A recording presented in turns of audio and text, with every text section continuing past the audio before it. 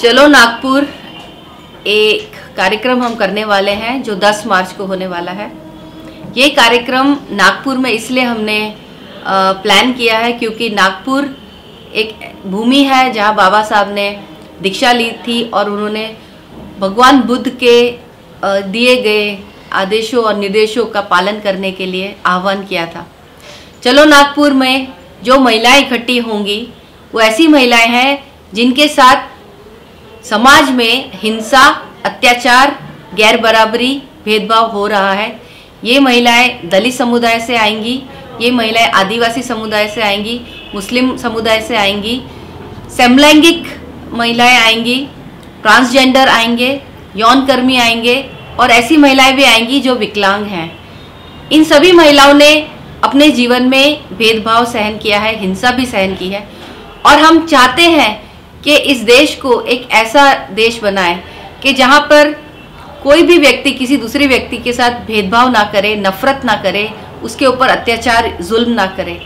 और इसके लिए बहुत ज़रूरी है कि इन महिलाओं का नेतृत्व, एक मज़बूत नेतृत्व खड़ा हो और इस मज़बूत नेतृत्व के द्वारा नागपुर की भूमि में हम सवाल उठाएँगे मनुवाद पर, सवाल उठाएँगे हिंदुत्व पर, सवाल उठाएँगे ये जो कहा जा रहा है कि भारत एक बिन सांप्रदायिक देश है उस पर, क्योंकि हम जानते हैं कि अब देश में किस तरह के दंगे, किस तरह की हिंसा हो रही है। देश में नफरत को बढ़ावा दिया जा रहा है।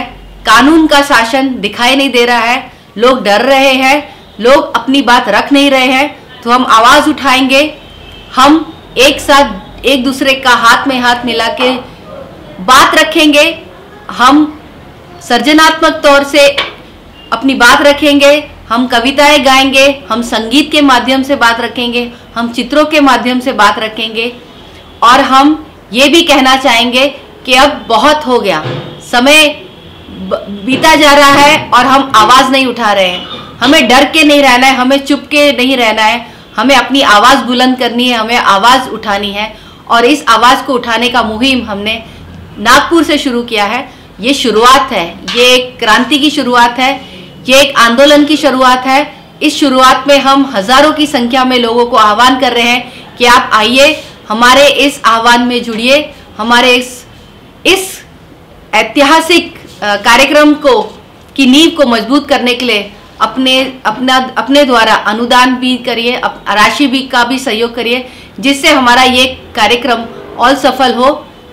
ये शुरुआत है। अभी तो ये अंगड़ाई है, आगे और लड़ाई है। जय भीम, जय सावित्री बाई फूले।